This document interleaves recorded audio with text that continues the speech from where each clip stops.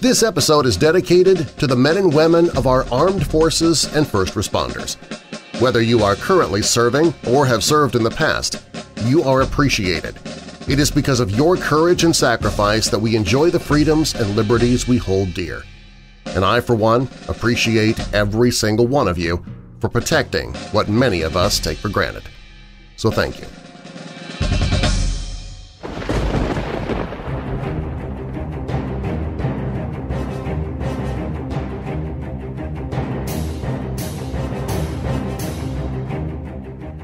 Welcome, Weirdos!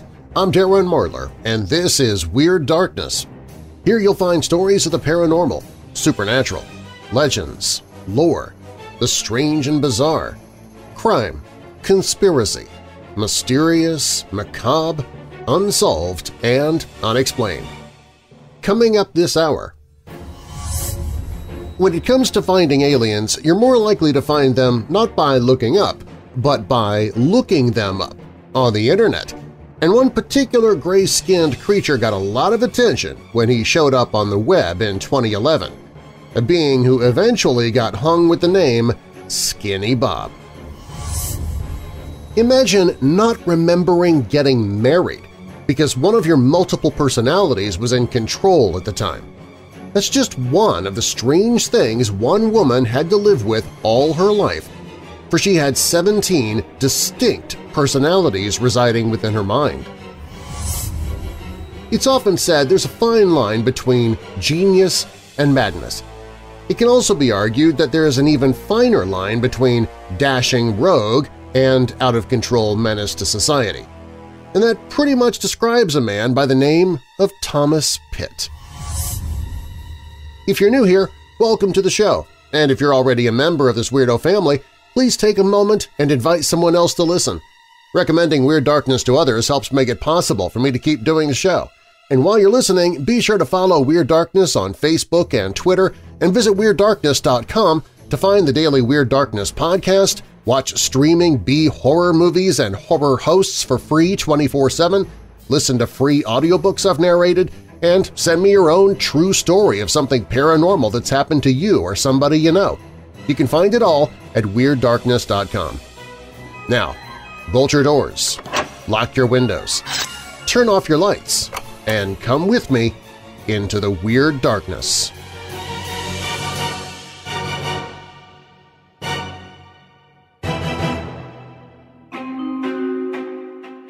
One place where a lot of weird stuff has made the rounds concerning aliens and UFOs is the Internet.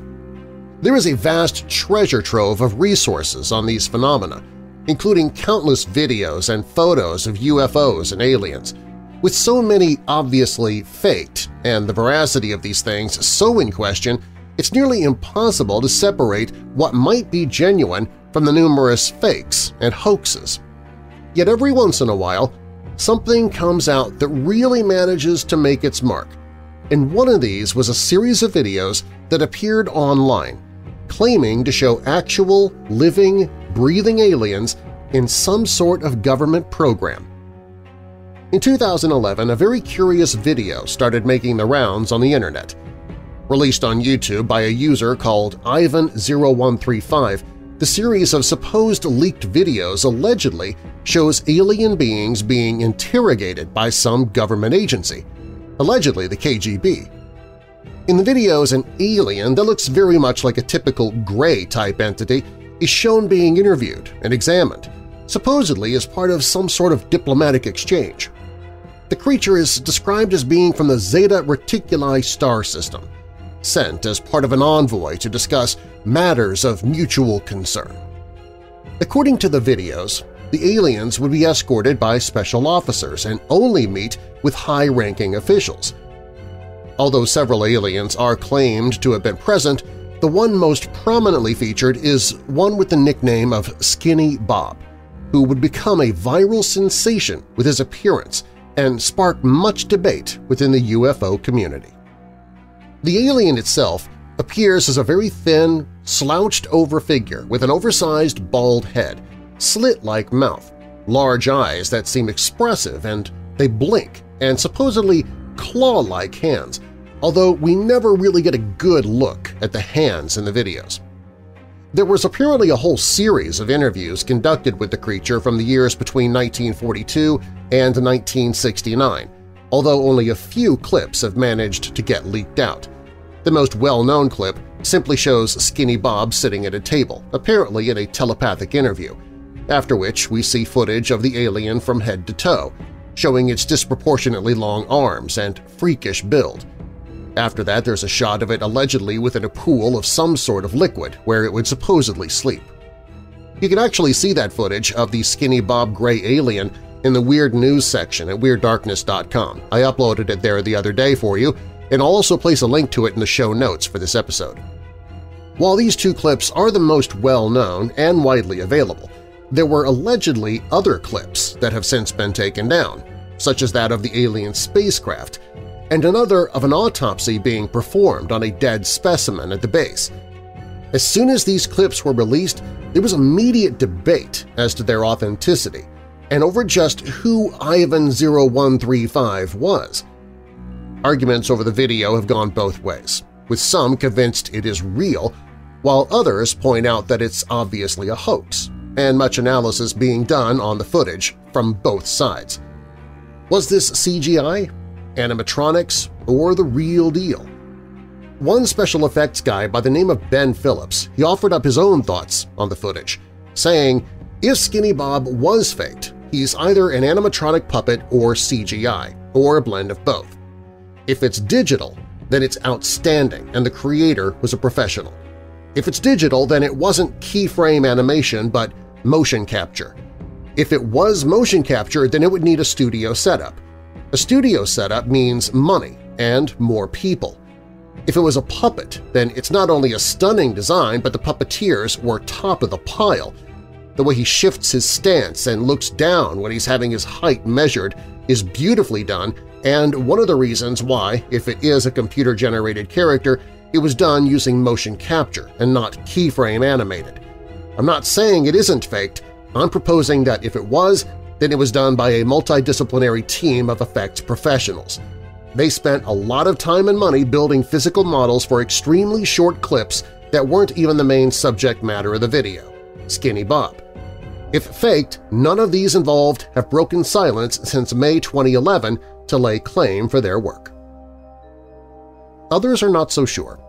It's been pointed out that the frame rate seems off, and there have been arguments over whether it was 16mm footage or not, and simply that the aliens look fake, with a fake-sounding camera clicking sound overlaid over it all. However, even for skeptics, the main mystery seems to be why anybody would have gone through such trouble to fake it to begin with. It seems like it would have cost quite a lot to make these videos, yet no one has really tried to make money off of them. It's also been suggested that it was some sort of viral marketing for a science fiction film, but if that was the case, then for what film? These clips were released back in 2011, yet there's been no movie that they have been connected to, and no one has admitted making them.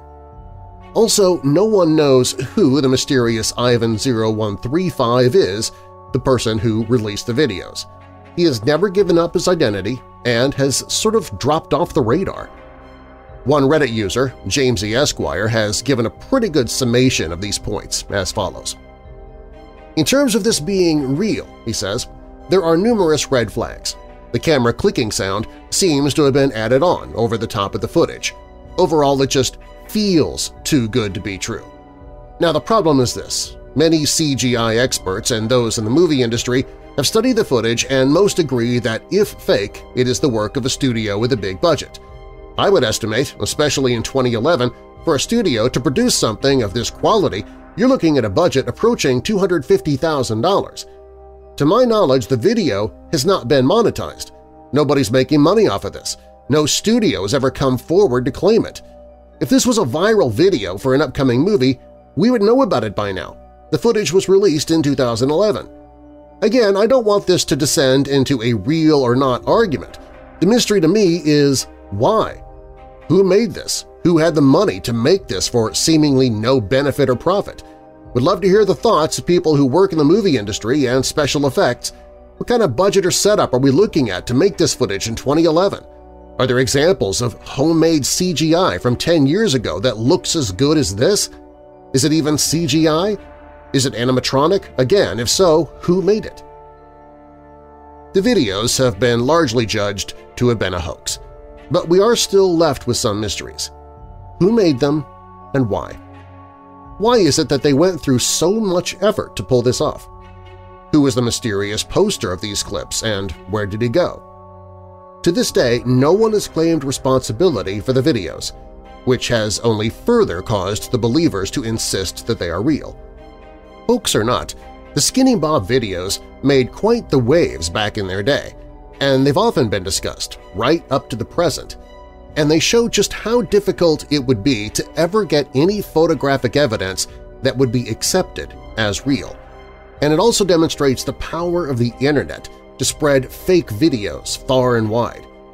Again, you can see the Skinny Bob Gray Alien video for yourself in the Weird News section at WeirdDarkness.com. Coming up, imagine not remembering getting married because one of your multiple personalities was in control at the time. That is just one of the strange things that one woman had to live with her entire life for she had 17 distinct personalities residing within her mind. That story's up next on Weird Darkness.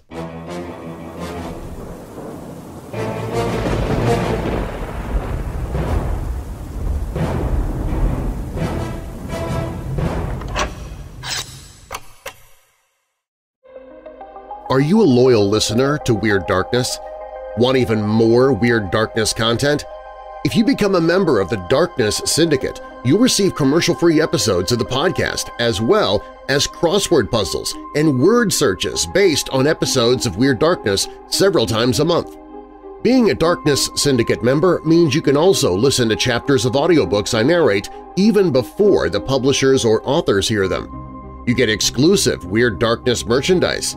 You get video updates of future projects and events I'm working on before anyone else. You can share your own opinions on ideas to help me decide upon contests, events, merchandise, and more in the Weird Darkness universe. You get all of these benefits and more starting at only $5 per month. Join the Darkness Syndicate at WeirdDarkness.com slash syndicate. That's WeirdDarkness.com slash syndicate.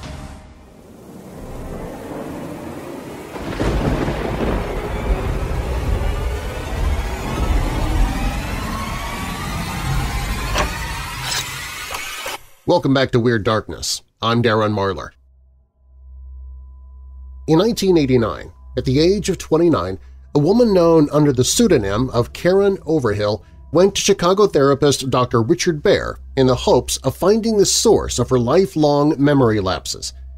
After an examination and several visits, the diagnosis came back. Overhill had a rare mental condition, multiple personality disorder, now called Dissociative Identity Disorder, or DID. Baer determined Overhill had 17 distinct personalities. In the decades since she began treatment, Overhill's condition has become a well-known case study. Mental health professionals have maintained there is a direct correlation between childhood abuse and adult mental illness, citing the example of Overhill. Baer concluded Overhill developed her 16 DID alters to cope with childhood trauma, specifically the sexual assault and torture that she told Dr. Baer she endured in the 1960s when male family members allegedly were in a cult.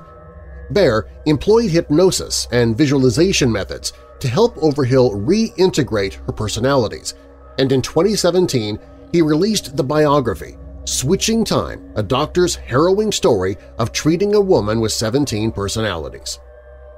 In 1989, when Overhill first came to the practice where Dr. Richard Baer, fresh out of medical school, offered psychotherapy counseling, he did not expect the extent of her mental illness. He told Chicago Magazine she had chronic pain resulting from surgery from delivering her daughter by cesarean section. People who have chronic pain often have depression, I knew from her manner that her depression was serious and had to be dealt with before anything else. With this patient, I thought she was just a depressed woman who needed medication. Obviously, I was wrong. He admitted to, at first, feeling impatient with the new client, not understanding why she seemed so unsure of herself and her life. However, he recognized character traits in Overhill indicating medication alone was not the answer. Baer initially believed Overhill suffered from secondary depression as a result of chronic pain. His understanding of her circumstances changed as she began to reveal several little tidbits of things that were odd. For example, she told Baer she fainted three times during her wedding ceremony. There were also several instances in which Overhill was unable to respond when the doctor asked what she had done the day before. Baer was hesitant to diagnose her condition because he wanted to be sure that she had multiple personalities before moving forward. He recognized her description of dissociative episodes, but could not identify the nature of the episodes until after extensive therapy. According to Overhill, she was just one of the victims of a cult that her father and grandfather founded. According to her, throughout the 1960s, her father collected a variety of men, including a police officer, a teacher, and a priest, who actively participated in the ritual abuse of children. Dr. Baer explained to reporters how acting as a detective wasn't the way to cure Overhill. In his book, Baer documented a letter from Miles, one of Overhill's personalities. In the letter, Miles explained how he and Elise, another personality, went to the rituals and kept cult and non-cult things separate from Overhill. When Baer researched the claims years after Overhill's treatment, he discovered several stories that seemed to corroborate her allegations. In 1993, the courts convicted her father on 19 counts of sexual abuse. Reportedly, he assaulted Overhill's niece. Over the years, Overhill's accounts remained reliable. He described her as completely consistent in all her memories, in all the alternate personalities, over 10 years. He further explained how she never gave him reason to doubt her. Baer eventually met all 16 of Overhill's alternate personalities. Throughout their therapy sessions, the personalities allegedly revealed different pieces of Karen's frightening childhood, satanic rituals, torture, and rape.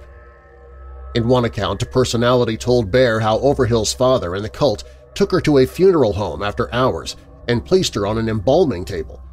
According to the alter, her father then jabbed her in the abdomen with needles while strangers uh, abused her. In other memories, personalities recounted several instances of torture, such as being pierced with coat hangers and fish hooks, carved with knives and beaten with hammers and baseball bats. We'll continue with this story in just a moment. Also, coming up, it's often said there is a fine line between genius and madness. Well, it can also be argued that there is an even finer line between dashing rogue and out-of-place menace to society. And that pretty much describes a man by the name of Thomas Pitt. We'll have his story coming up a little bit later this hour, when Weird Darkness returns. During the break, why don't you check out the website, WeirdDarkness.com, where you can find weird news and more. It's at WeirdDarkness.com.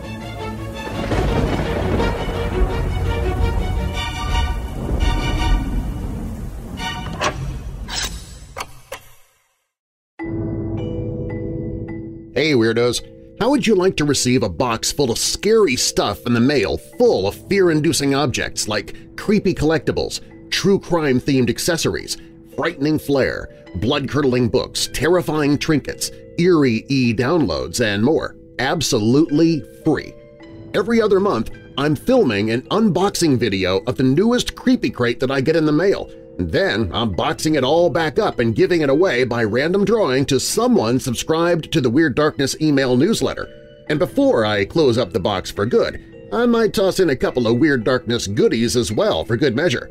You can keep the Creepy Crate for yourself or give it away to a weirdo friend or family member.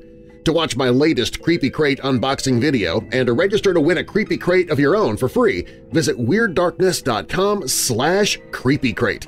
That's WeirdDarkness.com slash creepycrate.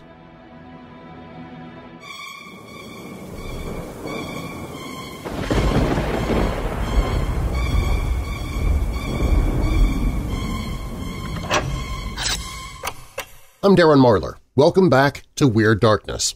Let's return to the story of Karen Overhill and her 17 personalities.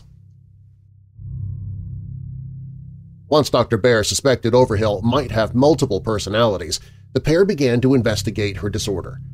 At first, Overhill was unsure, but a few months into treatment, she arrived at her weekly session to discover Baer had received a letter in the mail. Dear Dr. Baer, my name is Claire. I am seven years old. I live inside Karen. I listen to you all the time. I want to talk to you, but I don't know how. Overhill said she knew instinctively that she had written the note, even though the penmanship was utterly different from hers and appropriate for a seven-year-old. Baer later explained in an interview that he believed Claire reached out to him because she wanted a good, positive daddy figure. At the age of 12, an elderly relative reportedly sexually abused Overhill, subsequently causing the arrival of Jensen. Jensen, another of Overhill's earliest identities, was an 11-year-old boy who said that he fought back against the abuse and tried to bind Overhill's chest flat to help her appear more masculine. Jensen was one of the personalities who sprang up to help keep Overhill's fractured mind intact while adult men allegedly abused her. As she began to catalog her identities, Overhill initially found 10 additional personalities inside her mind. In addition to Jensen and Claire, there were two more children, two teen girls, Julie and Sandy, a 21-year-old woman, Holden and Catherine, who were both 34, and then another very angry man. It took several more years of therapy to find the remaining six personalities – as they came to the surface, each one revealed strikingly different characteristics. For example, two-year-old Karen Boo was Hungarian, five-year-old Sydney pathologically stole, and 13-year-old Julie had asthma. The identities spanned races and ages, and some were left-handed, others were right-handed. Each even had their own distinct mannerisms and gait. Overhill's mind was so neatly divided that the other personalities couldn't feel the physical pain that the dominant personality at the time was experiencing. Overhill had developed these different alternate personalities, or just alters, to shoulder the burden of her childhood trauma. This protective behavior continued throughout adulthood. The alters worked to shield Overhill from pain, but this sometimes backfired. If I had a bad headache, she said, it would just go away without medication. But this caused problems too because pain is protective. Once I stayed at work till the end of the day when I needed an appendectomy. Baer worked with Overhill for years to gradually dissolve the separation between the alters. His long-term plan included reintegrating the separate identities into one, into Karen. Overhill maintained the gaping holes in her memory had marred parts of her life. She explained how sometimes it would be something small, like forgetting a chapter that she had read in a book. Other times she'd wake up in strange places. According to Overhill, she doesn't remember marrying her husband. She also has little memory of her life between the ages of 6 and 10, attributed to her childhood abuse. Even as an adult, Overhill doesn't remember the birth of her child. Reportedly, she awoke after having a C-section, not knowing where she was or what was happening. Overhill initially described these periods as she just wasn't there. Dr. Baer later categorized these blackout events when the alters split her consciousness as dissociative episodes. In 1996, Dr. Baer received a memo from Holden, one of Overhill's alters. Holden was a 34-year-old man charged with protecting the group, he had a plan which he referred to as integration. During a therapy session, Overhill underwent hypnosis to meet one of her alters, a 13-year-old girl named Julie. During the integration process, Julie stepped into Overhill's body, a process that triggered a painful rush of forgotten memories as well as the alter's characteristics. As of April 1998, Overhill has reportedly integrated her 17 personalities – Baer maintains she hasn't been magically cured, as continued therapy and healthy life changes factor into the success of her treatments. She's not had a dissociative episode since.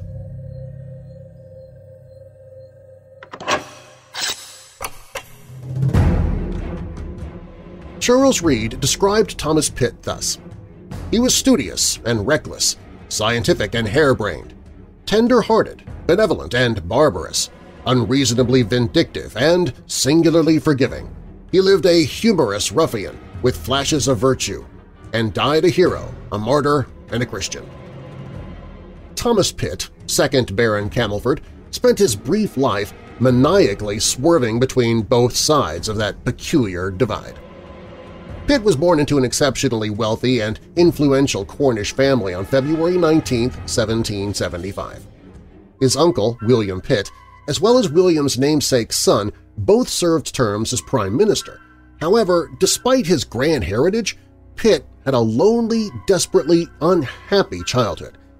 His family virtually ignored him, practically from his birth, shuttling him off to various boarding schools in Britain and Switzerland, where his prestigious social position allowed him to do pretty much as he liked with no fear of contradiction. This appalling combination of lack of parental love and absence of official discipline does much to explain why the young man grew up with a decided feral streak. At a very early age, maybe as young as six, Pitt began a naval career Imagine that, joining the Navy at the age of six. His curious gift for mayhem first emerged on the pages of history in 1791 when he was serving on the HMS Discovery. The Discovery was on an important expedition bound for the Cape of Good Hope and ending at Nootka Sound off the coast of North America. During the voyage, Pitt continually made a seagoing pest of himself. The captain, George Vancouver, had him repeatedly flogged for various harebrained offenses, most notably wooing a girl in Tahiti by gifting her with iron that he had stolen from the ship. The boy's behavior was so uncontrollable that Vancouver finally threw up his hands and placed his unruly crewman in irons. In 1793, his fellow sailors were undoubtedly relieved when Pitt's father died and Thomas was summoned home to assume his title and manage the family estate. Rather oddly, though, the new Baron paid little heed to the news. He continued serving on various ships for three more years before finally making his way to London. His proud, undisciplined spirit continued to nurse a grudge against Vancouver. He sent his former captain a challenge to a duel. Vancouver, by then a prematurely old, ailing man, sent a dignified reply stating that he had only followed his official duties. However, Lord Camelford was free to take his complaints to a Naval Board of Inquiry if he wanted to. Well, Pitt was disgusted by such a tame method of righting his perceived wrongs. He went straight to Vancouver's house and verbally attacked him so viciously that the captain was genuinely terrified. Vancouver felt he needed some sort of protection from this aristocratic maniac, but realized that Pitt's wealth and social status left him virtually immune from any normal legal or civil actions.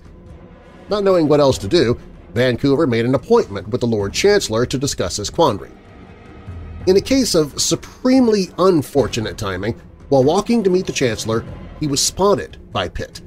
The Baron dashed over to the captain and began walloping him with a cane, an incident that became immortalized in a caricature drawn by Pitt's friend James Gillray. In a classic example of adding insult to injury, Gillray's drawing cruelly depicted Vancouver as a sniveling coward. Despite his long and meritorious naval career, this one cartoon turned the poor captain into a public laughingstock. It must be said that Vancouver wound up having the last laugh, though. Before he died in 1789, he completed three large journals detailing his many voyages of discovery. When published, they became a massive success, ensuring that he would go down in history as one of his nation's great map-makers and explorers. Thanks to his rank, after this fracas, Pitt was merely bound over to keep the peace for one year and quickly hustled back to sea. Pitt showed zero signs of mellowing. In 1797, he shot to death two seamen who resisted his efforts to press them into service. He also killed a fellow officer for perceived insubordination. He horsewhipped a storekeeper for poor service, his rank continued to protect him from serious punishment, but his commanding officer quickly had more than enough of Pitt and packed him back to England. Feeling he still had not had his share of trouble, Pitt decidedly to single-handedly invade France, which was then at war with Britain. This escapade led to his arrest on suspicion of spying, although it was soon realized that someone this nutty could hardly be acting as an espionage agent. Pitt, strangely enough, was popular in many circles. Tall, with a slim but muscular figure, the handsome, blue-eyed Baron was often seen as a charming swashbuckler rather than an antisocial menace. Disliking his family's ornate, if somewhat depressing home, he instead took up residence above a grocer's. He decorated his new abode with a variety of imposing-looking weaponry and gave himself up entirely to his favorite occupations – boxing and feuding. In 1799 he was fined for knocking a man down a flight of stairs. In January 1802, all of London put on an illumination to celebrate the recent peace with France. Every house in the city was sporting lit candles in their windows. Every house, that is, except for Baron Camelford's. Evidently out of sheer perversity, Pitt flatly refused to take part in the festivities, and his residence remained stubbornly, insultingly dark. An outraged crowd soon gathered round his lodgings to launch an attack on the offender. The Baron gleefully marched out to face the mob alone.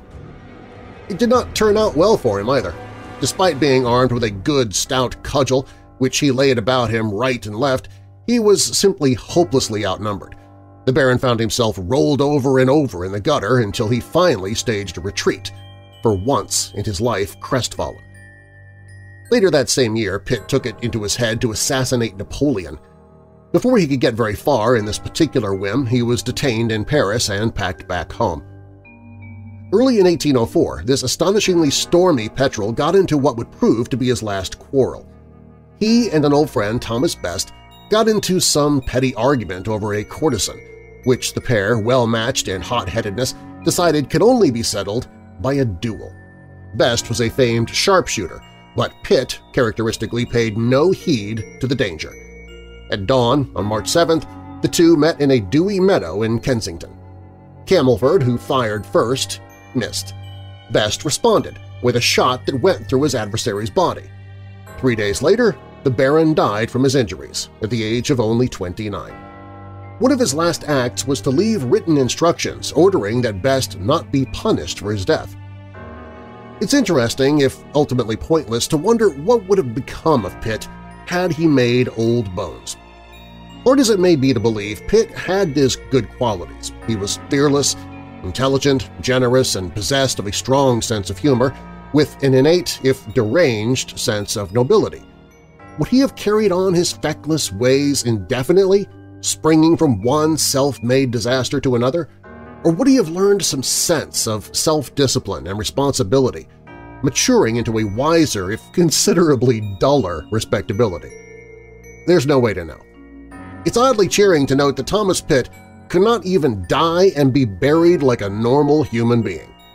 His will stated that he wished to lie on the shores of Switzerland's Lake St. Pierre, a place he had fond memories of from his childhood, where the surrounding scenery may smile upon my remains, he asked to be buried under a certain tree where I formerly passed many hours in solitude contemplating the mutability of human affairs.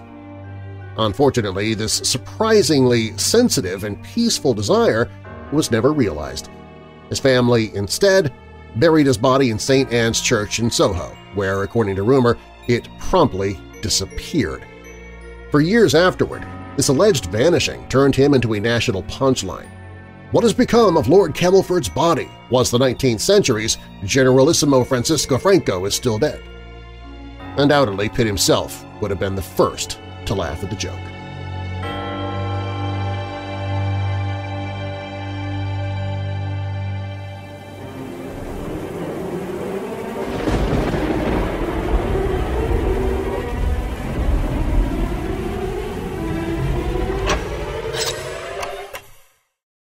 Are you a business owner or marketing manager? How would you like to share your product or service with our Weirdo family of listeners? Whether your business is worldwide, nationwide, or local, I would love to tell people about what you have to offer. To get your business heard in Weird Darkness or just get information about advertising in the podcast, visit WeirdDarkness.com slash advertise. That's WeirdDarkness.com slash advertise.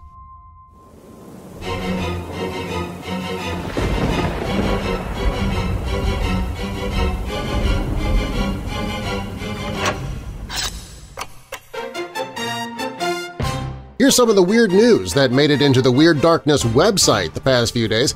You can find links to these stories by clicking on Weird News at WeirdDarkness.com.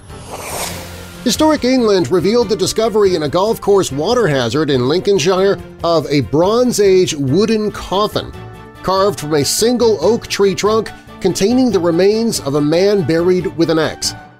Maybe he was buried in the water hazard because that's where he had his final stroke. Residents of an area in the southern Jordan Valley near the Dead Sea want an explanation for pools of reddish-pink water of unknown origin in sinkholes left after the Dead Sea retreated. I blame the Kool-Aid guy. Oh yeah! Apple is warning iPhone owners to be careful about attaching phones with optical image stabilization or OIS or closed-loop autofocus AF technology to motorcycle handlebars or chassis because the specific vibration frequencies found in high-power or high-volume motorcycle engines can fry the phones. In response, Robbie Knievel was quoted as saying, "'Hold my beer.' Scientists at the University of Manchester are creating a concrete-like material made of extraterrestrial dust along with the blood, sweat, and tears of astronauts that is stronger than ordinary concrete and perfect for construction work on Mars and beyond. Uh, okay, so you, you want me to sit in a tiny capsule for three years just to get to my destination, at which point you want to slice open my veins for blood while sitting in a sauna to sweat while watching Old Yeller to make me cry. How much am I getting paid for this trip again? Apple founder Steve Wozniak cryptically revealed that he is starting a space junk collection company to pick up some of the dead satellites and launch vehicle rockets NASA and his fellow billionaires are leaving in orbit. Those tons and tons of booster rockets that fell into the Earth's oceans? Eh, that's somebody else's problem. The brains and cadavers of wealthy people who paid huge sums of money to be cryogenically frozen in the hopes of one day being resurrected by advanced medical technology were stolen from a facility near Moscow by the scorned ex-wife of the founder, probably ending their chances of being brought back to life. It all started when a wacko doctor was operating on a patient, ended up getting a brain from his assistant who thought the label said Abby Normal, so they needed a replacement brain, and it all went downhill from there. In September, multiple witnesses outside the old Hull General Cemetery saw a nun dancing with what appeared to be a human skeleton beside a graveyard and then petting a dog skeleton. I guess when you're married to Jesus, the safest man to go cavorting around with would be a dead one. You can find links to these stories and numerous others in the Weird News section at WeirdDarkness.com. Thanks for listening. If you missed any part of tonight's show or you want to hear it again, you can subscribe to the podcast where you'll not only hear tonight's radio show, but also the extra sudden death overtime content that I prepared that I did not have time to fit in because, well, I went overtime. And while the radio show is one night per week, I upload episodes for the podcast seven days per week. And if you're one of my patrons, you get a commercial-free copy of tonight's show immediately after it's over. You can become a patron and or subscribe to the podcast at WeirdDarkness.com. You can follow the show on Facebook and Twitter at Weird Darkness, and please tell others about the show who love the paranormal or strange stories, true crime, monsters, or unsolved mysteries like you do. Doing that helps make it possible for me to keep doing the show. If you'd like to be a part of the show, you can call in to the Dark Line toll-free to tell your own true paranormal story or a story that's happened to somebody you know. That number is 1-877-277-5944. Again, the toll-free number is 1-877-277-5944. You can also email me anytime at darren at WeirdDarkness.com. Darren is D-A-R-R-E-N. Weird Darkness is a production and trademark of Marlar House Productions. Copyright 2021. And now that we're coming out of the dark, I'll leave you with a little light. Job 37 verse 5, God's voice thunders in marvelous ways. He does great things beyond our understanding. In a final thought, I don't regret my past. I regret the time I wasted on the wrong people. I'm Darren Marlar. Thanks for joining me in the Weird Darkness.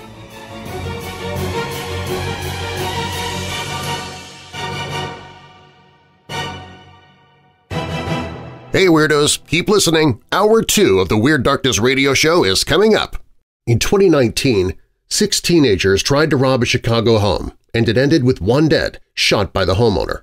A Minnesota man is confronted by burglars at his home in 2012 and ends up being charged with murder for killing the intruders.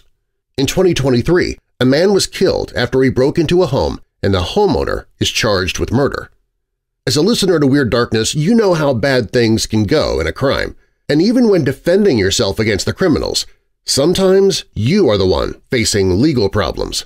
That's why you never let the criminals get access to your home to begin with. Home security is no longer recommended. It is essential, and with ADT, it's no longer for the elite. It's for everyone.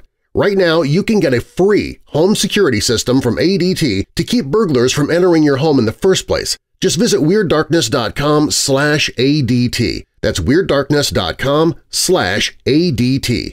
ADT is the biggest and most trusted name in home security and has been since 1874 and they are still equipping people like you and me with the newest and best home security technology with 24-7 monitoring and 24-7 customer service. Whether your home is basic or ultra-smart, ADT is the best option for your home security. And again, you can get a free custom-built home security system with the latest technology by visiting WeirdDarkness.com ADT. That's WeirdDarkness.com ADT.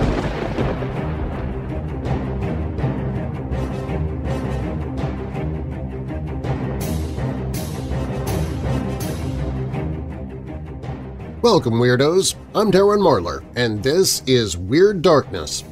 Here you'll find stories of the paranormal, supernatural, legends, lore, the strange and bizarre, crime, conspiracy, mysterious, macabre, unsolved, and unexplained.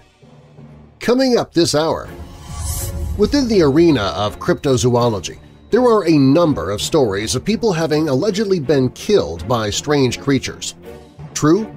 False? Legend? Hoax? We'll look at a few of the cases. Almost everyone's curious about what happens beyond the grave. Some are so eager to know they try to reach the other side before they pass. But in many cases, that is a very, very bad idea. Louisville, Kentucky, famed for the Kentucky Derby, Muhammad Ali, Kentucky Fried Chicken, Louisville Slugger baseball bats, and blue quasi-humans roaming the streets. Guess which one we'll be talking about. Those stories and more in this next hour. If you're new here, welcome to the show, and if you're already a member of this weirdo family, please take a moment and invite somebody else to listen with you. Recommending Weird Darkness to others helps make it possible for me to keep doing the show. And while you're listening, be sure to follow Weird Darkness on Facebook and Twitter, and visit WeirdDarkness.com to find the daily Weird Darkness podcast. Watch streaming B-horror movies and horror hosts 24-7 for free. Listen to free audiobooks that I've narrated. To send me your own true story of something paranormal that's happened to you or someone you know, and more. You can find it all at WeirdDarkness.com. Now, bolt your doors, lock your windows, turn off your lights, and come with me into the weird darkness.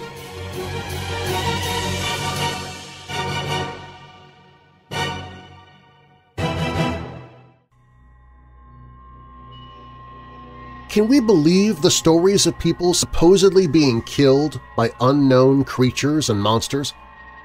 Let's take a look at some of the cases on record and we'll begin with the matter of the Loch Ness Monster. St. Adamnan's Life of St. Columba is a fascinating Gaelic chronicle of the life of St. Columba. He was a 6th century abbot, also of Ireland, who spent much of his life trying to convert the Iron Age Picts of Christianity and who, like Adamnan, was an abbot of Iona. In 563, Columba sailed to Scotland and two years later happened to visit Loch Ness, while traveling with a number of comrades to meet with King Brude of the Picts. It turned out to be an amazing and notable experience, as the Life of St. Columba book most assuredly demonstrates. Adamnan began his story thus. When the blessed man was staying for some days in the province of the Picts, he found it necessary to cross the river Ness, and when he came to the bank thereof, he sees some of the inhabitants burying a poor, unfortunate little fellow, whom, as those who were burying him themselves reported, some water monster had little before snatched at as he was swimming and bitten with a most savage bite, and whose hapless corpse some men who came in a boat to give assistance, though too late, caught hold of by putting out hooks. It should be noted that we could make a rational case the story was simply a parable, a fable, perhaps one designed to demonstrate the power of the Word of God over the domain of evil. After all, St. Columba, as noted, spent years trying to convert the Picts to Christianity. So what better way than to suggest that God had the power to repel deadly Scottish lake monsters?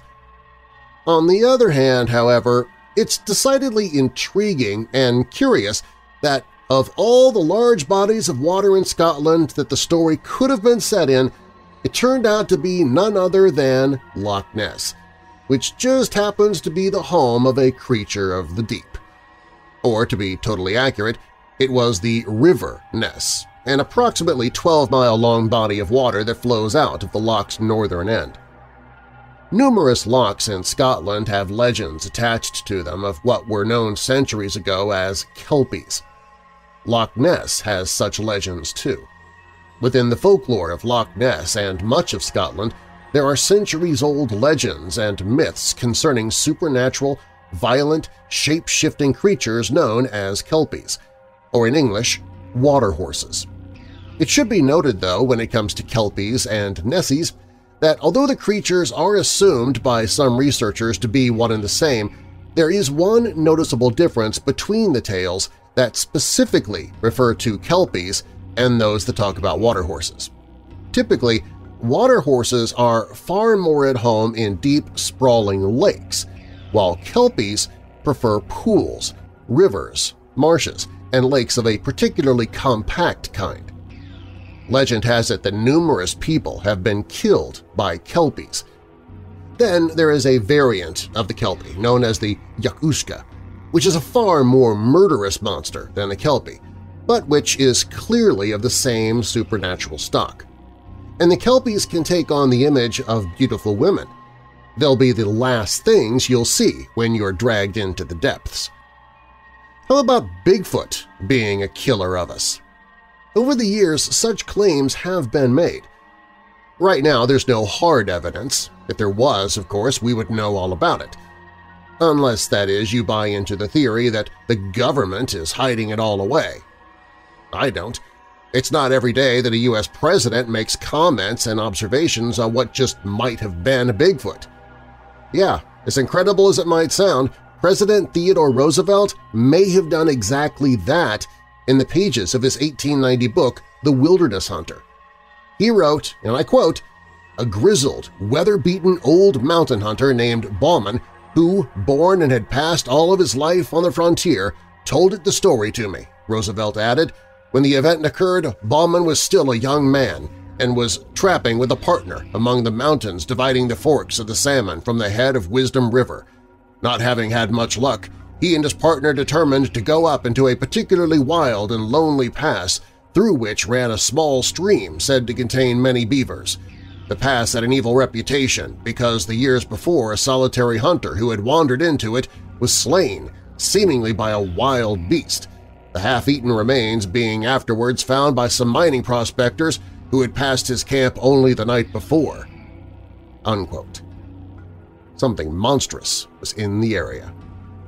The creature, or whatever it was, was soon after Bauman and his friend. The two made a camp and bedded down for the night. It was a bone-chilling time. Theodore Roosevelt continues, At midnight, Bauman was awakened by some noise and sat up in his blankets. As he did so, his nostrils were struck by a strong, wild beast odor, and he caught the loom of a great body in the darkness at the mouth of the lean-to. Grasping his rifle, he fired at the vague, threatening shadow, but must have missed, for immediately afterwards he heard the smashing of the underwood as the thing, whatever it was, rushed off into the impenetrable blackness of the forest and the night, and the mysterious activity showed no sign of slowing down. In fact, things only got worse. But you guessed that, right? There was more to come. After this the two men slept but little, sitting up by the rekindled fire, but they heard nothing more.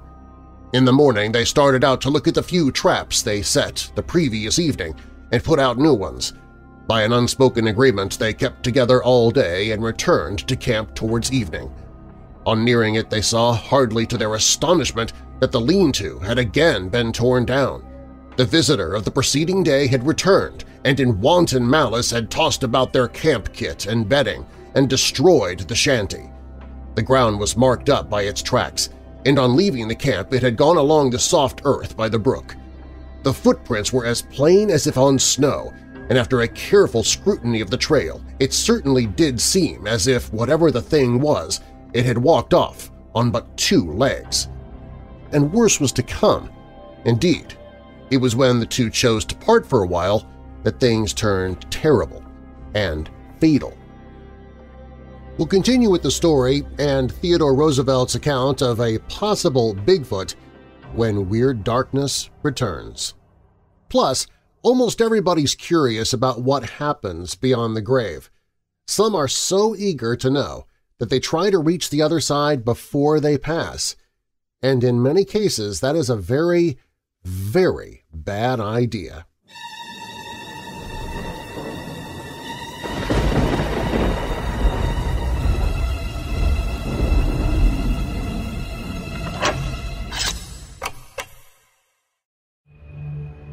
What kind of person does it take to build a civilization from the ground up? Astronaut Nick Burke will have to learn how to be a leader if he wants humanity to survive on a new planet, even if he himself is no longer human. Nick Burke dreams of successfully creating the first sustainable space colony in human history. After a third failed mission on Mars, Nick returns to Earth heartbroken. But during the trip home, he has an epiphany caused by a near-death experience on how to truly accomplish his dream. Nick launches a billionaire-funded startup company that solves the interstellar travel problem, transporting people in a spaceship without any people aboard.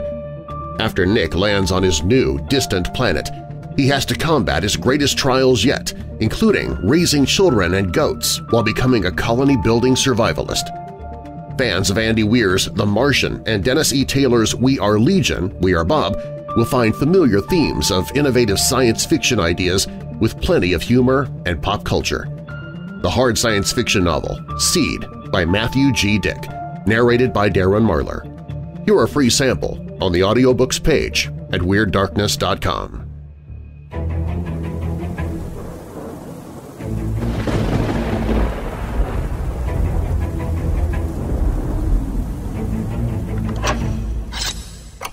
Welcome back to Weird Darkness. I'm Darren Marlar. And you can stay up to date on everything Weird Darkness and also at the same time maybe win some cool prizes by signing up for the email newsletter. Maybe you could be my next winner. Sign up for the Weird Darkness newsletter for free at WeirdDarkness.com and you'll automatically be entered to win. Let's return to President Theodore Roosevelt telling the story about that potential Bigfoot. The footprints were as plain as if on snow, and after a careful scrutiny of the trail, it certainly did seem as if whatever the thing was, it had walked off on but two legs. And worse was to come. Indeed, it was when the two chose to part for a while that things turned terrible and fatal. At first, Bauman, having left his friend for a while, could see nobody, nor did he receive an answer to his call. Theodore Roosevelt continues. Stepping forward, he again shouted. As he did so, his eye fell on the body of his friend, stretched beside the trunk of a great fallen spruce. Rushing towards it, the horrified trapper found that the body was still warm, but that the neck was broken, while there were four great fang marks in the throat. The footprints of the unknown beast creature printed deep in the soft soil told the whole story. The unfortunate man, having finished his packing, had sat down on the spruce log with his face to the fire and his back to the dense woods to wait for his companion. While thus waiting, his monstrous assailant, which must have been lurking in the woods, waiting for a chance to catch one of the adventurers unprepared, came silently up from behind, walking with long, noiseless steps and seemingly still on two legs. Evidently unheard, it reached the man and broke his neck by wrenching his neck back with its forepaws while it buried its teeth in his throat. It had not eaten the body, but apparently had romped and gamboled around it in uncouth, ferocious glee, occasionally rolling over and over it, and had then fled back into the soundless depths of the woods." Unquote. Killed by a raging Bigfoot? Maybe. The description didn't seem to fit that of a bear. The mystery is unlikely ever to be resolved, and there are a few other cases of alleged killings by cryptids. None of them are particularly impressive. Many stories are a, a friend of a friend heard about kind of cases from Puerto Rico. The tales are near identical, but there were no names, no specific locations, and well, you get the point. The stories revolved around people having been slaughtered, somewhere deep in the huge El Yunque in the late 1990s and drained of blood. The authorities supposedly covered the whole thing up. Of course. An amazing story, but there was nothing in the way of proof, not even a bit. So, in light of everything that we've heard here, what can we say uh, for sure? Well, we can't say anything for sure. All we have are rumors, legends, and folklore. And we should probably stress that does not mean people have not or have not been killed by cryptids, but we do need a bit more evidence than we have now if we're going to make a solid case that people have been killed by cryptids. If something paranormal has happened to you, you can call the Dark Line toll-free at 1-877-277 5944. We got a call just the other day.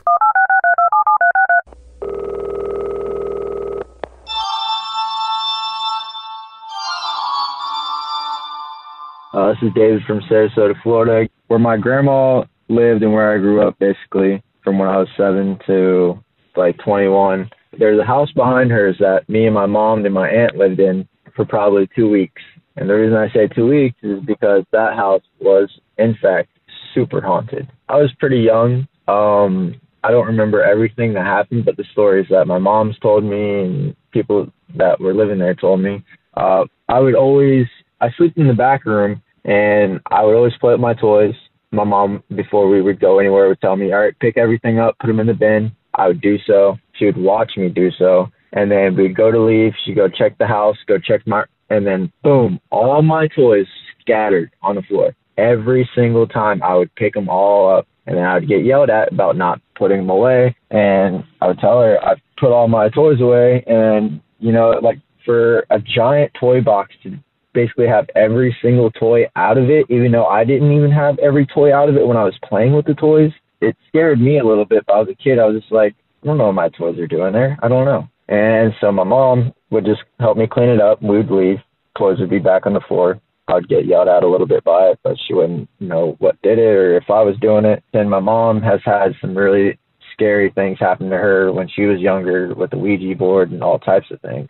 And so, anyways, we're in this house. I guess the reason why we moved out is because my mom kept hearing her name being called, like as if my two brothers, which are just about my, one of my brothers, 10 years older, and the other one's like eight, she would hear them like calling her name all the time in different rooms and they would not be there. And the last time she was in the shower and she heard my brother Jason calling for help, like, Mom, help me. Come here, please. Come here. Help me. Help me. Help me, please, Mom.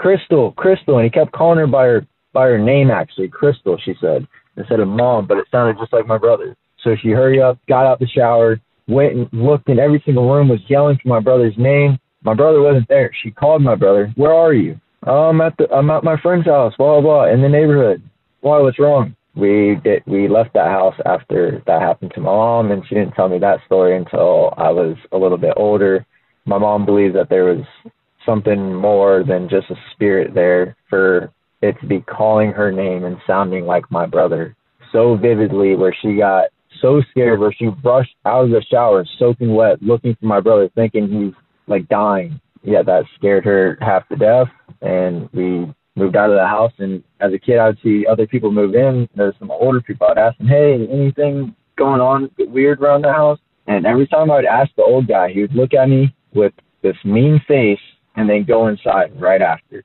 every single time because we'd jump on our trampoline and ask him, "Hey, I used to live there. Anything weird?" And every time he'd see us, he would just ignore us with a mean face and go back inside. Been through a lot of crazy paranormal stuff, but I don't think any demons or ghosts even want to mess with this guy right here. Blaming your messy room on ghosts. I might have to try that the next time Robin yells at me from my office looking like a tornado hit it.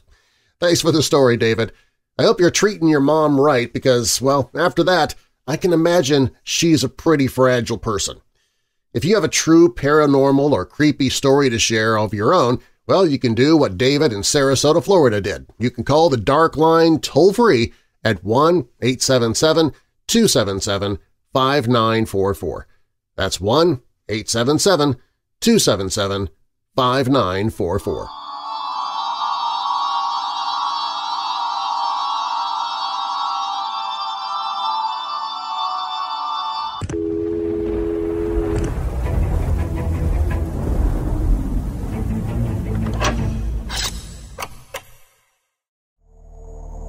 Paranormal experiences, encountering extraterrestrials, extraordinary states of consciousness, spiritual phenomenon, encounters with non-human entities that can't be explained by science. These stories of what people have come across are ubiquitous here on Weird Darkness, and often those who've had these encounters choose to stay quiet and not even tell close friends or family out of fear of ridicule, and they suffer silently, trying to deal with the internal horror of what they've experienced. If I'm describing you or someone you know, there is now a place you can turn to for professional counseling from experts who, unlike others in their field, are open to the paranormal, supernatural, and extraterrestrial experiences of others, and they're not there to explain away your experience but to help you recover from it and move forward with living. I'm referring to the Opus Network. If you want to reach out for help or learn more, look for the Opus Network towards the bottom of the Hope in the Darkness page at WeirdDarkness.com.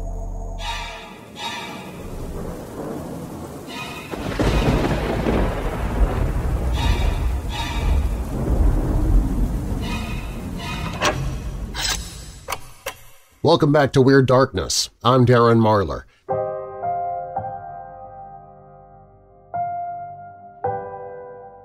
Seances are a means of trying to communicate with spirits who have passed.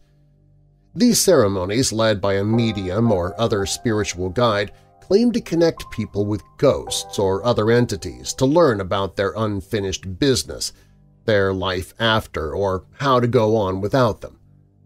Sometimes they're conducted through a spirit board or other means of communication, while others are simply done by a spiritually sensitive person inviting a spirit to overtake their bodies.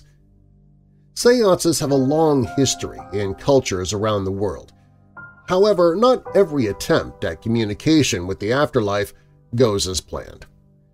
Even experienced mediums may run into an unpleasant spirit from time to time, and those who have no experience whatsoever may find themselves overwhelmed by a strong-willed entity with an inclination to do harm. These allegedly true stories from seances suggest that communication with those who have passed is not always in our best interest. From accidentally unleashing a demon on your girlfriend to cursing your band's next album, dabbling too heavily in spirit communication can have dire consequences. These seance stories will make you think twice about lighting a few candles and bringing out that dusty old Ouija board from your closet. If you've seen The Conjuring, you have a little bit of an idea of what happened in the life of Andrea Perron, but the film didn't tell the whole story. In 1971, Perron and her family moved to a house in Harrisville, Rhode Island. They soon discovered the house was filled with spirits who had not yet passed on due to continuous unexplained phenomena happening. Scared for their lives, the Perron family called upon paranormal investigators Ed and Lorraine Warren for help. They promised to try and help the family get the spirits out. When a medium performed a seance, it went dreadfully wrong. She summoned a spirit that went after Perron's mother, Carolyn, throwing her around the house with such force that she sustained a concussion. Perrin said It was the most terrifying night of my life. After the seance, the family no longer experienced severe supernatural events. Andrea Perron has written three books about the hauntings experienced by her family in their Harrisville home. In 1941, psychic Helen Duncan was approached by a mother looking for news of her son, a soldier in the British Royal Navy. Duncan held a seance to conjure up any spirits with news of the man. She revealed that the young man had been lost in the sinking of the battleship HMS Barham. Remarkably, the ship's sinking hadn't yet been revealed to the public to prevent a loss of morale in the difficult days of World War II. Among the people at the seance were two lieutenants of the Navy. They were immediately suspicious of Duncan, prompting two undercover police officers to attend another seance. The officers promptly detained her, and Duncan was tried under Section 4 of the Witchcraft Act of 1735, Keep in mind this is taking place in 1941, but the Witchcraft Act of 1735 forbade deceitful spiritual activity. She was the last person to be tried for witchcraft under that act before its repeal in 1951. Individual stories of spirit contact are creepy enough, but even more eerie is the number of people who claim to have contacted an entity named Zozo. The spirit's more known for having intimate knowledge of people's lives and for its ability to manipulate people and objects to cause harm. The entity's origins are murky, but people around the world claim to have interacted with it during seances while using spirit boards or while practicing auto-writing. Sometimes Zozo is a mere trickster, while other times it has reportedly possessed people and caused harm. The entity is a special interest to paranormal researcher Darren Evans, whose website and blog have become a hub for reports of Zozo activity. Whatever the cause, if a spirit identifies itself as Zozo, it might be best to slide that planchette over to goodbye. Experimental rock group the Mars Volta almost canceled an entire album because of a supposedly cursed spirit board. After guitarist Omar Rodriguez Lopez picked up a Ouija board in Jerusalem and the band used it, they started experiencing strange happenings, including tracks disappearing from the computer, two floods in the studio, equipment being ruined, and a valued engineer quitting. True to form, the band channeled the strange events into their album, the Bedlam in Goliath, released in 2008. Rodriguez-Lopez buried the board to avoid any future incidents, and the band released two more albums before breaking up in 2013. Bradford J. Angers, a Magic Store employee and psychology student, got more than he bargained for when a customer paid him $100 to perform a fake seance complete with sounds and visuals. With the aid of a partner, Angers set out to create an entirely fabricated seance that appeared real. Angers pulled it off without a hitch, with disembodied voices speaking predictions about the attendees' loved ones from a mist that formed in the center of the table. But once it was over, Angers went to help his partner disconnect the equipment they used to produce the special effects, only to find that his partner and the equipment had been locked outside the entire time. Whatever happened during the seance had nothing to do with their plans. Some Ouija board experiments are fun ways to spend a harmless Saturday night, but others can be downright eerie. One Reddit user described an experience on an army base when dabbling with a Ouija board and it led her and a group of friends to contact a spirit named Cheryl. This spirit said that she perished in a car accident and was searching for her boyfriend. After continuing to use the board, they managed to get in touch with the boyfriend, who said that he was sorry and he loved her very much, but he couldn't explain why he was sorry. The group contacted a third spirit, who said the reason the boyfriend was sorry was because he was in hell and the girlfriend was in heaven. At that moment, all of the candles in the room flickered out. Growing up in a creepy, seemingly haunted room could force anybody to take drastic measures. For this unidentified man growing up in Michigan, he knew his room had a bad vibe. When he allowed two occult-dabbling friends to hold a seance to find out the cause of his eerie visions and unexplained voices, things went from bad to worse. The seance backfired. His girlfriend started angrily shouting for the friends to leave. After they left, the man found her trapped in the room, unable to move. Once he pushed a dresser out of the way to gain access, he tried to pick her up, but found that she was heavier than normal.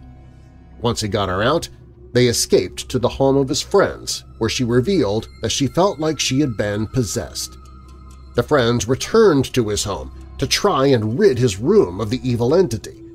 They ended up contacting a demon named Enlil, who told them that it had been using the bedroom as a gateway and the seance had enabled him to escape along with a host of other terrifying spirits. The friends managed to close the gateway and rid the room of spirits, and from then on the room seemed to be normal. While you can't trust everything a Ouija board tells you, one Reddit user discovered that there might be more truth to a prediction than meets the eye. According to the post, the Redditor asked the spirit they connected with to make a prediction about a future news event, to which the spirit replied, D-I, die, D-I, die, D-I, die, D-I, die, and then Princess Di. When asked how this would happen, it responded, car accident. When asked where this would happen, it gave the answer Paris. When asked when, it replied Ohio. The Redditor ended up going to Ohio, but nothing happened, so the spirit's message was dismissed as irrelevant. A month later, the Redditor went on another trip to Ohio. During that trip, Princess Diana of Wales lost her life in a tragic car accident in Paris.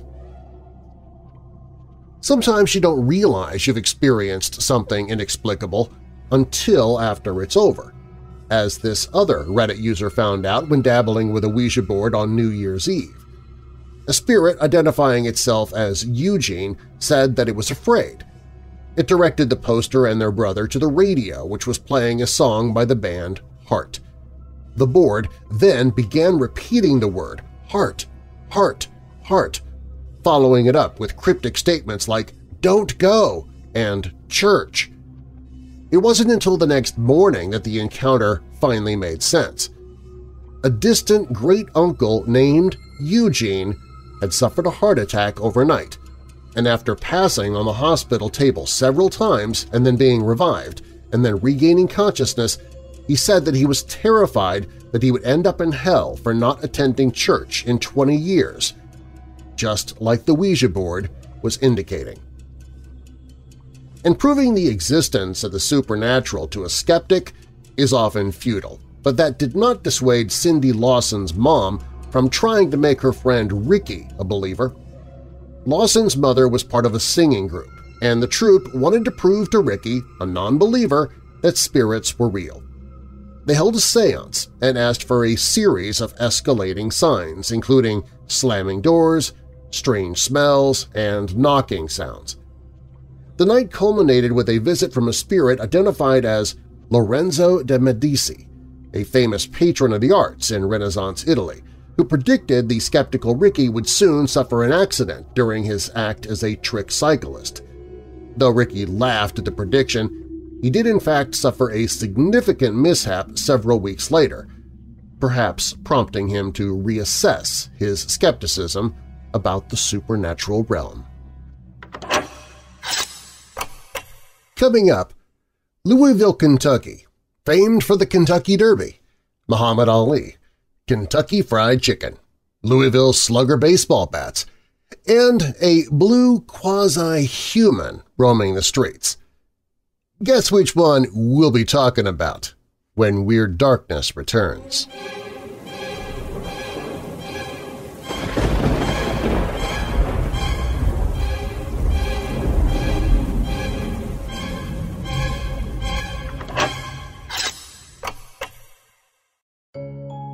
Town is Standard, a small Midwestern town where nothing ever happens.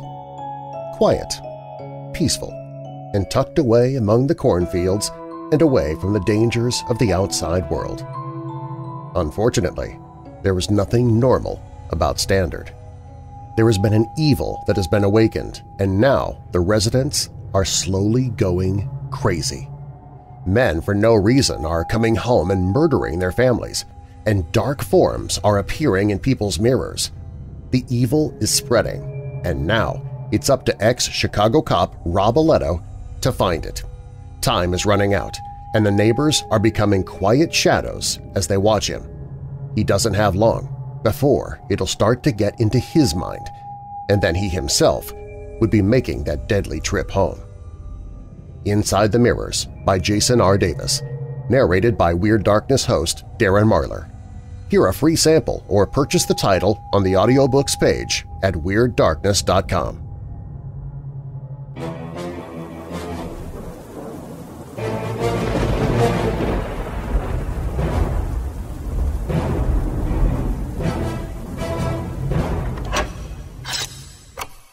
Welcome back to Weird Darkness.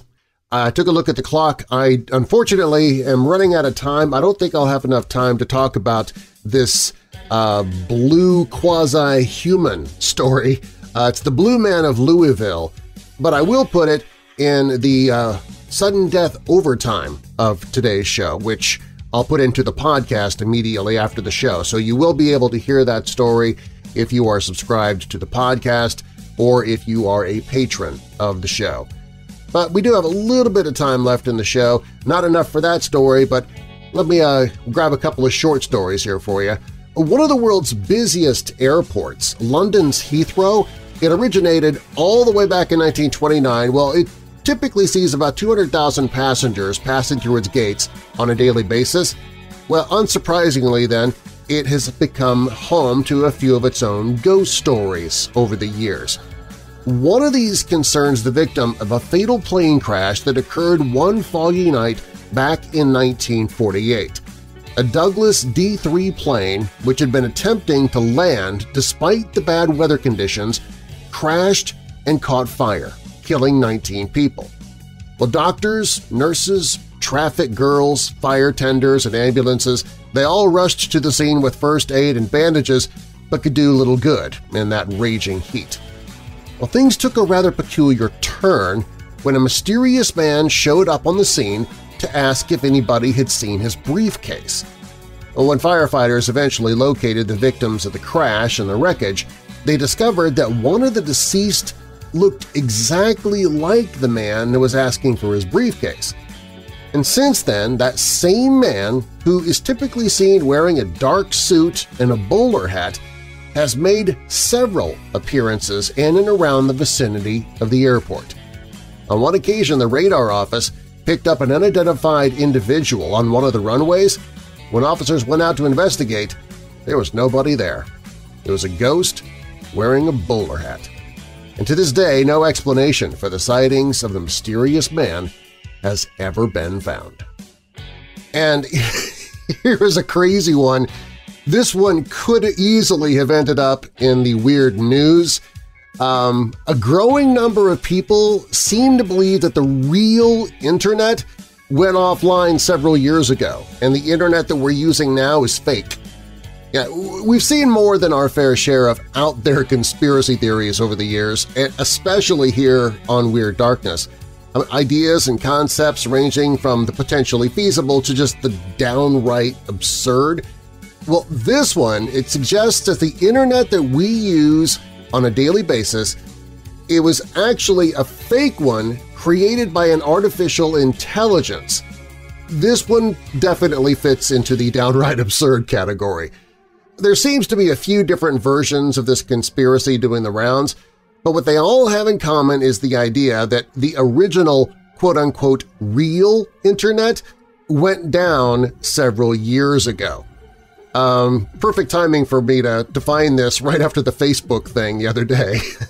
Known as dead Internet theory, the concept implies that the Internet was taken down by an artificial intelligence and that all the user-generated content that you see online today has also been created by that same AI to put forward the appearance of a large number of users. Some believe that the government is secretly behind all of this with a group of highly paid influencers helping to perpetuate the illusion that the internet is still buzzing with activity. The entire thing is nonsense, of course, but such conspiracy theories provide an intriguing glimpse into how the human mind works, as well as how such bizarre ideas actually get started. Now, whether this particular conspiracy is likely to stick around remains to be seen. I don't believe it, but then again, I would probably qualify as one of those influencers, so you probably can't believe what I'm telling you anyway.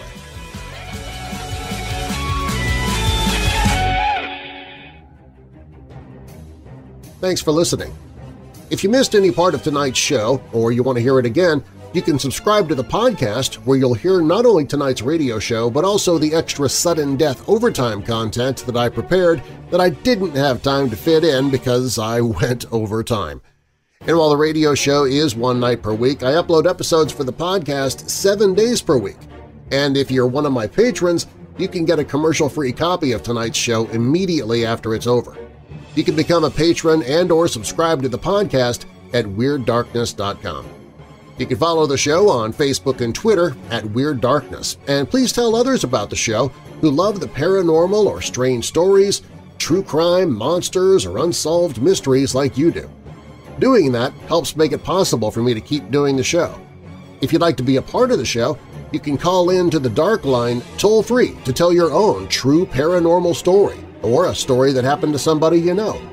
That number is 1-877-277 5944. Again, the toll-free number is 1-877-277-5944. You can also email me anytime at darren at WeirdDarkness.com. Darren is D-A-R-R-E-N. Weird Darkness is a production and trademark of Marlar House Productions. Copyright 2021. And now that we're coming out of the dark, I'll leave you with a little light. Colossians 1 verses 13 and 14 for he has rescued us from the dominion of darkness and brought us into the kingdom of the Son he loves, in whom we have redemption, the forgiveness of sins. And a final thought, learning from your mistakes is wise, but learning from the mistakes of others is quicker and easier. I'm Darren Marlar. Thanks for joining me in the Weird Darkness.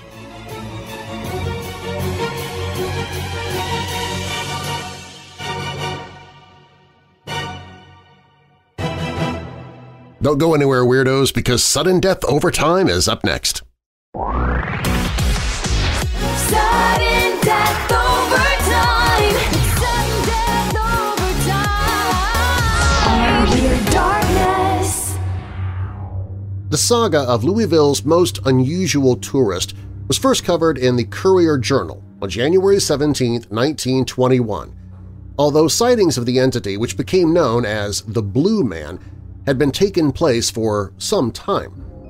In the newspaper's front-page story on the mystery, one Reese Carell told a reporter of his encounter with the stranger. I've only been knocked down once in my life, and it did it. It's been around here every night for the last two weeks. What's it after? I don't know. But one night last week when I came home at about 11 o'clock, I saw somebody standing on our front step. I thought it was my father, and I walked right up to him. Looking for the blue man, Pop? I asked him. Just then he hit me in the chest. I was knocked against the fence. When I got up, it was gone. Carell described the blue man as extremely tall and, yes, with a face of a pleasing indigo hue. The following day, the Courier-Journal reported on Mrs. Earl Shubnell's encounter with the being on the previous Thursday evening. She said she was sitting where she could see into her kitchen when she heard the shutter of one of the windows rustling, after which a hand was thrust through a broken pane in the window. The hand caught hold of the curtain and pulled it back, said Mrs. Shubnell, but when I screamed, it was withdrawn quickly, and I heard the sound of someone running out of the alley and down the street in the direction of Kentucky Street. In contrast to Carell's description, Mrs. Shubnell said the hand was large and white, one that was impossible to belong to any blue man.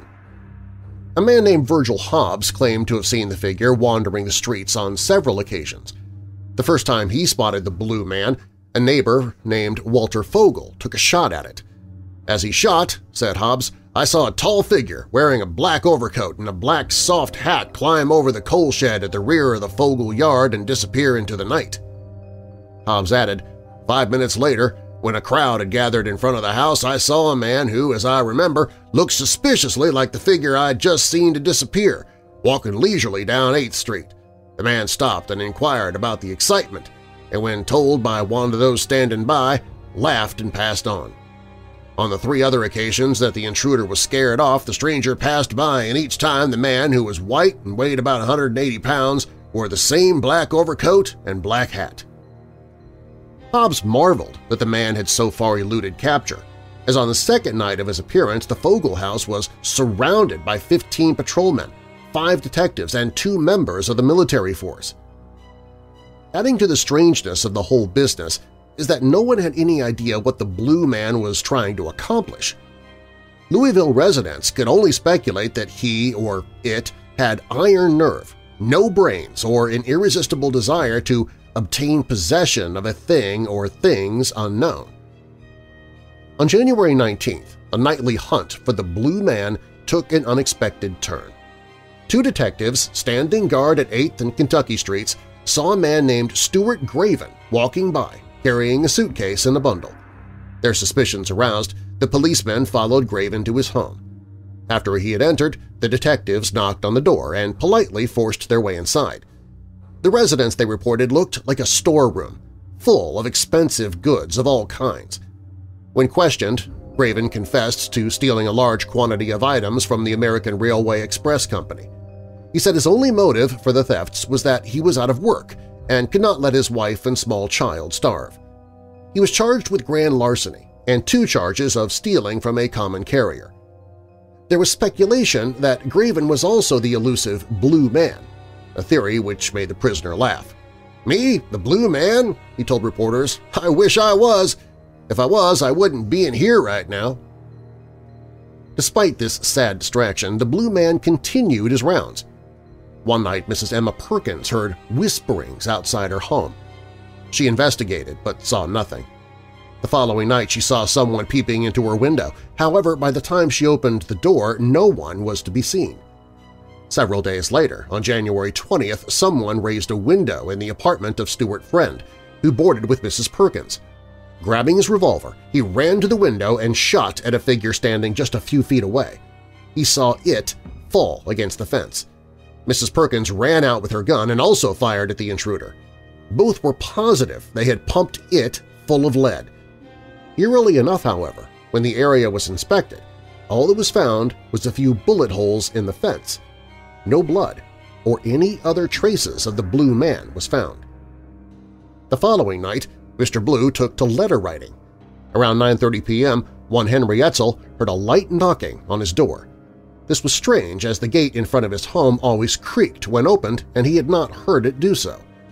He had also not heard any footsteps in the adjoining alleyway. When he opened the door, no one was there. Assuming his ears had simply played tricks on him, Etzel went back to his newspaper. A couple of minutes later, he heard more knocks, louder than before. He dashed to the front door and threw it open. He still saw no one. There was nothing for him to do but to return to reading, but he stayed wary. Then someone or something kicked the door several times. Etzel was able to open it before the noise ceased, but he still failed to see anyone. All he found outside his door was a note reading, I will call again, don't be afraid, your friend the Blue Man till we meet again. On the night of the 22nd, Mrs. L.I. Dilly heard somebody trying to force open her apartment door. She ran to her neighbor, Mrs. G.S. Spaulding, to sound the alarm. Mrs. Dilly then went out the side door and to the back of their residence. She saw a man jump over the back fence. When police were summoned, they could find nothing, not even a footprint in the soft ground. Fifteen minutes after the policeman left, Mrs. Dilly, who was back in bed trying to go back to sleep, heard footsteps. Again, she heard someone turning her doorknob and pressing against the door. The intruder gave up on the door. and retreated. A moment later, Mrs. Dilly saw a shadow on her window, and then a face was pressed against the glass. Mrs. Dilly grabbed her gun and ran outside. Seeing a figure fleeing into the night, she shot at it. Once again, the prowler managed to escape. For the second time that night, the police fruitlessly searched the vicinity for footprints. Immediately after Mrs. Dilly retired to bed, she had to call the police for a third time. She told the policeman that as she was drawing the covers about her, she heard a faint noise. She clutched her gun, waiting for whatever might happen next. The shadowy face returned to her window.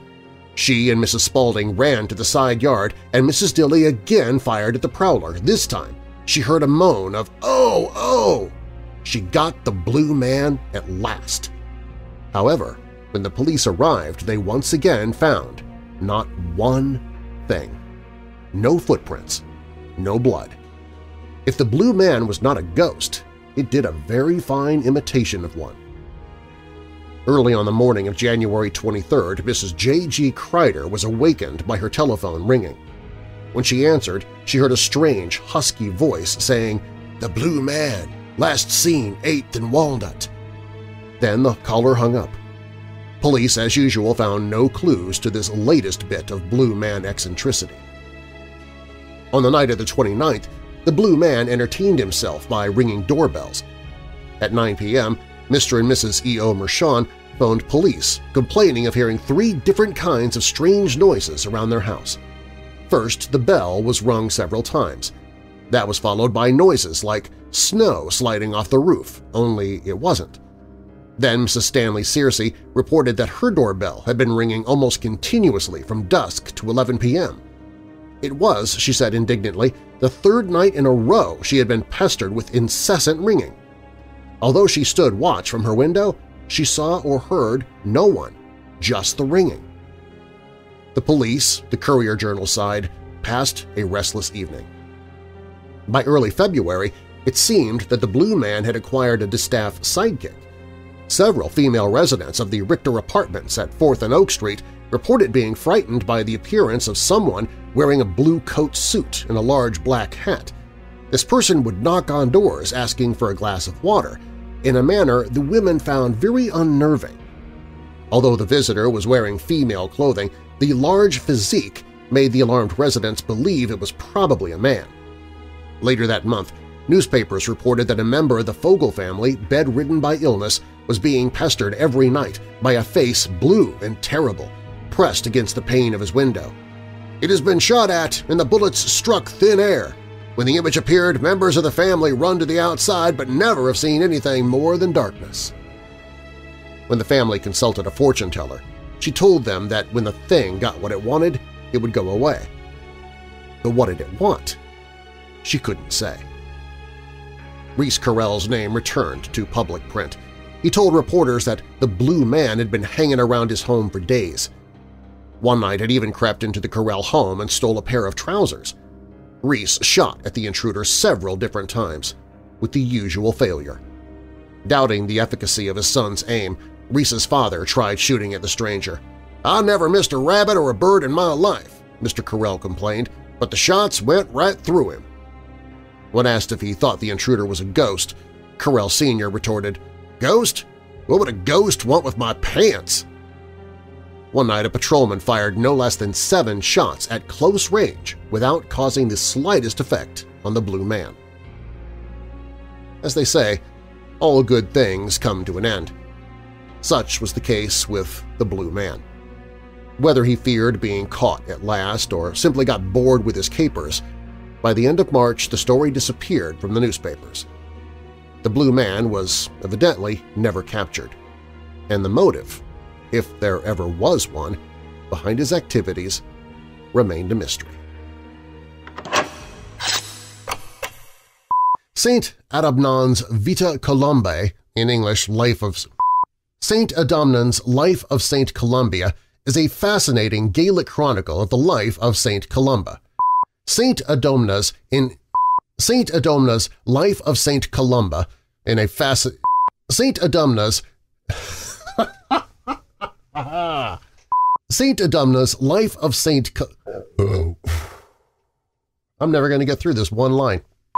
St. Adumna's Life of St. Columba is a fascinating Gaelic chronicle of the life of St. Columba. She was the last person to be tried for witchcraft under that act until it was repealed in 19... She was the last person to be tried for witchcraft under that act, and then it was... She was the last person to be tried for witchcraft under that act, and then it was... Sudden death overtime.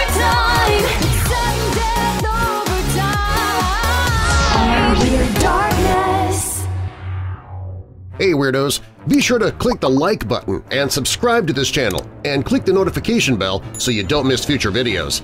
I post videos seven days a week. And while you're at it, spread the darkness by sharing this video with someone you know who loves all things strange and macabre. If you want to listen to the podcast, you can find it at WeirdDarkness.com listen.